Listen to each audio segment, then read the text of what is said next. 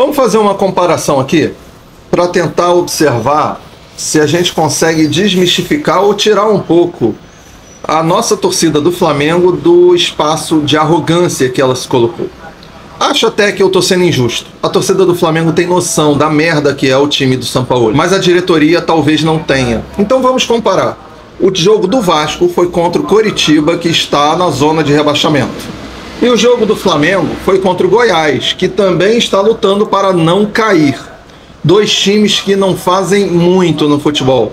Dois times que não têm produzido nada. O Vasco, jogando contra o Goiás, com 54% de posse de bola, o Vasco chutou 19 vezes.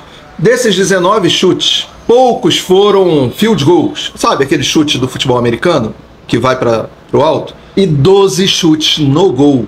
Vasco fez 5 gols no Coritiba. Tá bom, levou um, mas já estava goleando na hora que levou. Mas tudo bem.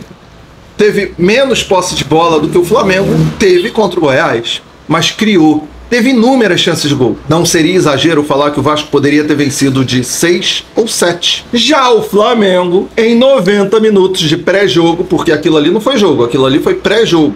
Aí acabaram o jogo no pré-jogo. O Flamengo não criou uma única oportunidade de gol. Foram apenas 10 chutes. A maioria em chutes de futebol americano. Field goal. Então, não marcou, né? Dois chutes no gol. Apenas dois. Um deles quando o Cebolinha entrou já no final do jogo. Né? Foi o único chute bom do Flamengo.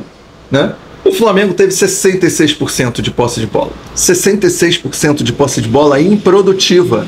O Flamengo, em 90 minutos, não criou uma única oportunidade de marcar o gol. Um dos gols do Vasco, por si só, foi de uma jogada que a gente poderia facilmente ver o Flamengo fazendo tempos atrás. Hoje, a gente não vê. A gente vê o Flamengo tocando a bola de um zagueiro para o outro, do outro zagueiro para um, depois para o lateral, depois volta para o zagueiro, até perder a bola e tomar o contra-ataque. Sorte do Flamengo que o Goiás é tão ruim ou pior do que o Coritiba. Veja o elenco do Flamengo, que não criou nada. Veja o elenco do Vasco, que foi reconstruído no meio do campeonato.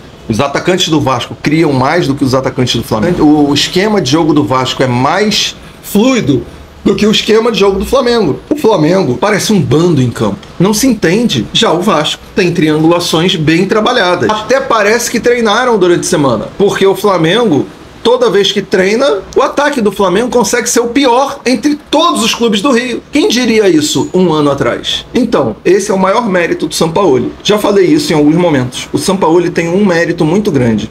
Ele transformou Pedro e Gabigol em Souza e Obina, Valbaiano e, sei lá, Borja. Tá difícil.